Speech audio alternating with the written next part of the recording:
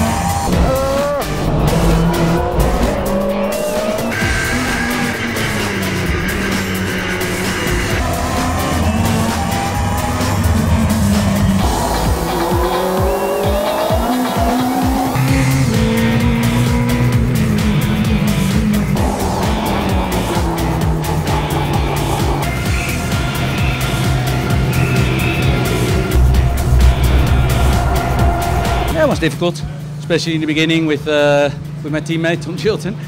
He, uh, he had a better radius at the inside, so I was closing the doors quite a lot, but I could see he was faster. And I just saw his lap time, he's uh, four or five tenths faster. We're completely on a different uh, type of setup. He went completely left, I went completely right. Um, there's still some work to do for me um, with the Chevrolet. And so at the end, uh, we were missing two, three tenths compared with the people uh, in front of me, like uh, Tiago, uh, Michelisz, and Loeb. But no, you know, this is the start, my first points. I think uh, we should be reasonably happy.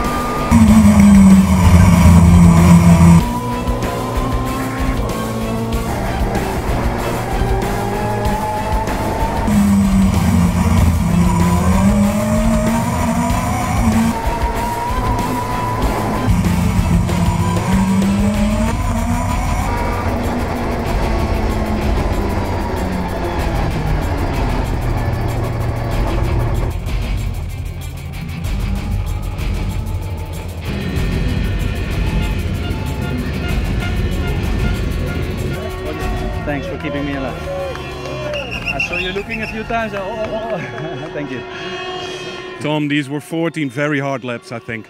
Yeah, I think. Uh, thank you very much. I think Ivan was uh, was all over me, left, right, left, right.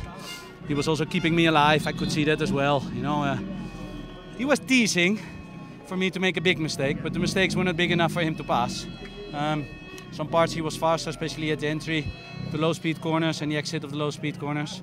Um, the high speed when he was uh, too close to me, I could see he was losing downforce, so that was quite uh, quite good because then I could uh, make a little distance there, and probably he was destroying the tire. A few times on the straight it was hot. It was hot. I had to brake a little bit later, so I could not touch the apex. But at least I saw him in the inside. I said, "Sorry, next corner is to the left." So uh, no, was nice. It was fun, you know, better than the first race. First race I was alone, and now I, I had them all in my ass. Don't forget to put the thumbs up, so like us at the button below or share it with your friends. And don't forget to check one of my other social media channels, know, Twitter, Instagram, Google Plus or Facebook.